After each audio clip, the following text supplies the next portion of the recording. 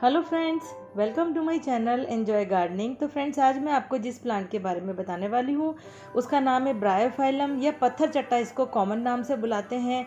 Scientific इसका जो name है, वो ब्रायोफाइलम पिन्नेटम है।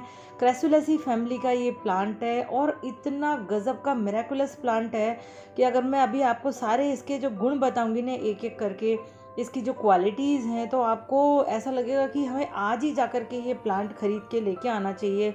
इतना बढ़िया मेडिसिनल प्लांट है। ये घर में सबके होना चाहिए, चाहे आप उसको बालकनी गार्डन में लगाएँ, क्यारी में लगाएँ, कहीं भी लगाएँ इजीली ग्रो कर हो जाता है।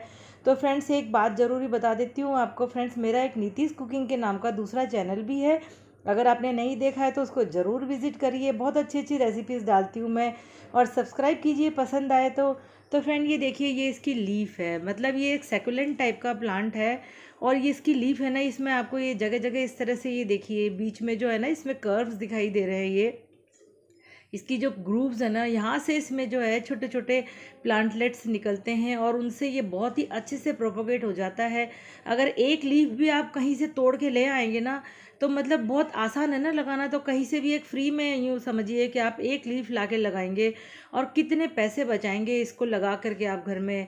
ये देखिए, इसमें एक छोटी सी एक वो जंगली पौधा हो गया है तो इसको मैं निकालती जा रही हूँ बात करते करते तो फ्रेंड ये जो है ऑर्नामेंटल प्लांट भी बन जाता है मतलब लगाने से घर में जो है बड़ा अच्छा देखने में ग्रीन ग्रीन सा बड़े बड़े पत्ते हैं इसके, और मेडिसिनल प्लांट तो है ही सही। तो सबसे पहले मैं इसकी लाइट की बात करती हूँ तो फ्रेंड इसको एकदम ब्राइट लाइट चाहिए, और सनलाइट भी चलेगी। बहुत ज़्यादा जो गर्मी होती है ना मई जून की, बस उससे थोड़ा सा हमें बचाना चाहिए। वो भी मिनिमम जो दो घंटे की दिन की, मई जून की जो गर्मी होती है तो बाकी तो ये है कि आराम से ये सह लेता है कितनी भी गर्मी को, क्योंकि इसकी पत्तियाँ जो है काफ़ी थिक और हैवी हैं आप ये देखिए, इसकी पत्तियाँ जो है ना, इसमें रेड रेड कलर की इसकी छोटी छोटी सी ब्रांचेस हैं जिसके ऊपर ये लगा हुआ है। तो इससे क्या खूबसूरती इसकी बढ़ जाती है।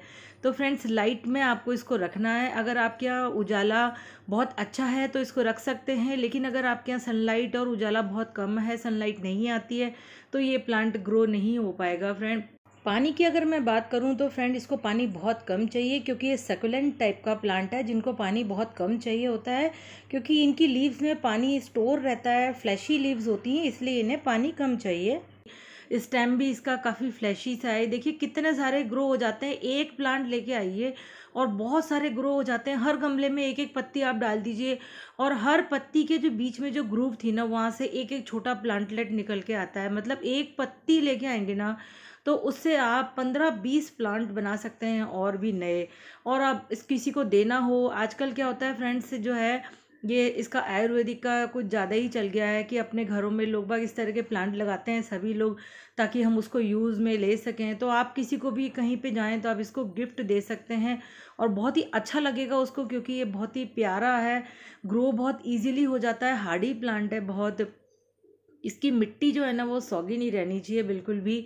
पानी मतलब आपको इतना देना है कि वो ड्रेन हो जाए और वेल ड्रेन सॉइल चाहिए इसको, इसमें जो है, क्योंकि अगर पानी रुक गया तो सेकुलेंट्स जो होते हैं ना, उसी तरह से ये जो है मर जाएगा रूट रॉट से तो इसलिए जो है पानी आप बहुत ही कम देंगे इसको। जब ऊपर की लेयर आपको लगे हाथ से छू करके कि वो सूख गई है एक इंच की लेयर तो आप इसके अंदर पानी दे दीजिए। वरना ये कि आप एक बार पानी देंगे इसको तो उसके बाद दस दिन तक आपको इसको पानी देने की ज़रूरत नहीं है। कितने सारे आ रहे हैं, देखिए आप ये। तो इसके अलावा फ्रेंड्स, आप इसकी सॉइल के अंदर आप कुछ भी मिला सकते हैं, इजीली ग्रो हो जाता है। इसकी सॉइल जो मैंने तैयार करी है, वो देखिए, इसके अंदर मैंने एक पार्ट गार्डन सॉइल, एक पार्ट गोबर की खाद और एक पार्ट सैंड लिए मैंने इसके अंदर। तीनों को मिक्स करके इसकी जो है मैंने सॉइल तैयार करी है। और इसमें से तीनों में से अगर आपके पास सैंड नहीं है तो गार्डन सॉइल और गोबर की खाद भी आप ले सकते हैं। बहुत ही आराम से ये उग जाता है उसके अंदर। और प्रोपोगेशन की बात अगर मैं करूँ तो फ्रेंड मैंने आपको बता ही दिया कि ये बहुत ही ईजिली प्रोपोगेट होता है। मतलब आपको इसकी पत्ती तोड़ के लगा करके और ग्रो करने की बिल्कुल ज़रूरत नहीं है। इसकी पत्ती अपने आप भी नीचे गिर जाती है ना तो बहुत सारे सैकड़ों प्लांट्स नीचे से उग उग के अपने आप ही आते हैं। क्योंकि बहुत ही आसानी से खुद ही प्रोपोगेट होता रहता है। इसको कटिंग से भी लगाया जा सकता है। तो फ्रेंड्स इसकी ग्रोइंग कंडीशन तो मैंने आपको बता दी। लाइट सॉइल और वाटर मैंने आपको बता ही दिया। लेकिन अब मैं आपको बताती हूँ फ्रेंड्स इसकी मेडिसिनल यूज़। इसको स्पेशली किडनी डिज़ीज़ के लिए बहुत अच्छे से इसको जो है जाना जाता है कि अगर इसको आपने यूज़ में लिया है इसको आयुर्वेदिक तरीके से तो किडनी का स्टोन को कहते हैं कि हंड्रेड परसेंट तक ये बिल्कुल ख़त्म कर देता है। बहुत ही मतलब जो है एकदम रामबाण कहते हैं ना औषधि है ये। बिल्कुल वही काम करता है ये किडनी के स्टोन्स के लिए, चाहे वो गॉल ब्लैडर का हो, किडनी का स्टोन हो, बहुत ही मतलब अच्छे से उसको ख़त्म कर देता है ये। यूरिनरी प्रॉब्लम में भी ये बहुत काम आता है। इसके अलावा जख्म हो जाए कहीं तो जख्म को भरने में ये बहुत काम आता है। जैसे कहीं फुंसी वंसी हो जाती है, पस पड़ जाता है तो उसको भी ये जो है क्रैक करके उसका पस बहुत अच्छे से निकाल देता है। उसमें भी काम आता है, ये ल्यूकीमिया में काम आता है, हेडेक में काम आता है। हेडेक में तो इसका बहुत ही अच्छे से यूज़ होता है। जैसे किडनी स्टोन में है ना, जैसे कोई माइग्रेन की प्रॉब्लम हो, सिर में दर्द हो, उन सब में ये बहुत काम आता है। ये जो मैं आपको बीच बीच में जिसके ग्रुप्स हैं ना, इनको फ्रिंजेस बोलते हैं फ्रेंड यहीं से वो प्लांट प्लांटलेट्स निकल के आते हैं इसके, ये बहुत ही, बस इसको आपको अगर खुद से आपको प्रोपोगेट करना है तो इस तरह से इसकी पत्ती तोड़िए और इस पत्ती को आप सिंपली एक, जो है, एक गमले के अंदर रख देंगे ना तो ये खुद ही अपने आप ही इसमें से बेबी प्लांट्स निकल के आ जाएँगे। मैं इसके ऊपर एक वीडियो बनाऊँगी कि इसको प्रोपोगेट कैसे किया जाए तो आपके साथ ज़रूर शेयर करूँगी। इसमें फ्लावर्स भी निकलते हैं रेडिश और कुछ पर्पल जैसे बेल लाइक जो है, इसके फ्लावर्स होते हैं तो वो भी बहुत ही देखने में भी बहुत प्यारे लगते हैं फ्लावर्स भी जब निकलते हैं। ये देखिए इसमें कैसे रेड रेड छोटी सा जिसका स्टॉक है वो रेड कलर का है। तो मैं आपसे कह रही थी, इसको आप चाहें इस मिट्टी के ऊपर ऐसे पूरा, ना सरफेस के थ्रू रख दीजिए।